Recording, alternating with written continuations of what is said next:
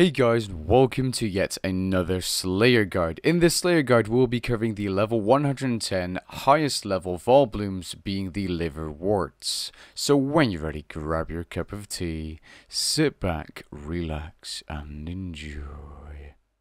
Liverworts are a monster requiring level 110 Slayer, but it can be boosted up to using Wilder Pies. The recommended stats are quite steep, but if you have level 110 Slayer, you probably have all of these stats. Here's a list of some of the useful things you can think about unlocking if you haven't already, but you don't necessarily need all of these, they are just useful. The Bladed Dive ability is useful for hopping around from liverwort to liverwort. The Enhanced Devoted perk decreases damage. The Scrimshaw Vampirism and Vampirism Aura are strongly recommended again to save food and make these super chill, especially when using melee. A Charming Imp for collecting the charms, a Spring Cleaner for actually alching the noted salvage or disassembling it depending depending on the version you have, is Steel Titan for power slaying, and if you don't want any money because the standard drops are pretty bad, a Scrimshaw Sacrifice can be used for 50% more Slayer experience at the expense of all of your drops. Liverworts have a whopping 60,000 life points, so quite a large health pool. They are level 228 combat. They give a whopping 2,970 combat experience per kill, and a massive 3,338 Slayer experience per kill, and these can only be assigned in a cluster task called Vile Blooms by IKEA Girl. On screen now are the basic and rare drops from the liverworts. Now, the main drops won't make you that much money, maybe a couple of mil per hour, not that much per task, but the main reason you want to do your Vile Blooms or liverworts tasks is for that rare chance of getting the Blast Diffusion boots, which are worth over 18 million GP. Another reason to do them is to get the Dinosaur Rib Bone and Dinosaur Tooth drop, which can be used to upgrade your Anachronia base camp. On screen now are literally the most basic Slayer setups for every single combat style, using a high tier weapon and low tier non-degradable armor which can be augmented depending on your own preference. Now, liverworts are easily killed using all three combat styles, although they are weak to fire spells from magic. But I personally would recommend you do these using a melee setup as they can easily be completely destroyed using a Zerk rotation. So I'm going to be showing you guys a full melee setup, but you could also just use those setups. However, the best setup here is by using dual wield melee and going ham. So the recommended setup, of course, is going to be Trim Masterwork, your Slayer Helmet, unless you've got yourself the upgrade.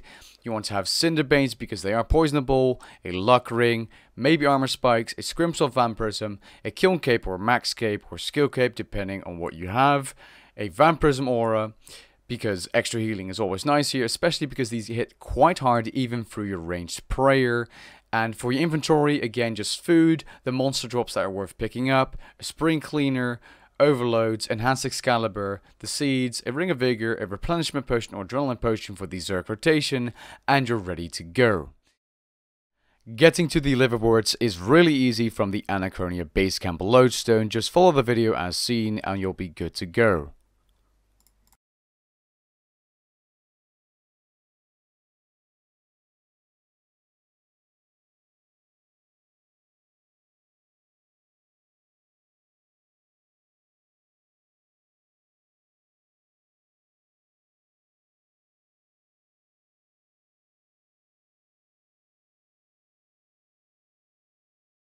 Liverworts are very easy if you can dish out a lot of damage, as you will never ever see the mechanic happen. If you're too slow to kill them, however, the mechanic will happen after 10 auto attacks. This mechanic will then drag you in, and the liverwort will shoot out some kind of balls, which will then reflect back to him, and because you're standing within those balls and the liverwort, you will get hit for a lot of poison damage, which can't be negated by the Venom Blood perk. One way of countering the attack if you're caught off guard is by using the freedom ability and then quickly walking outside of the path of the balls and then the balls will hit the liverwort instead and do a lot of damage to the liverwort. Get wrecked, plant.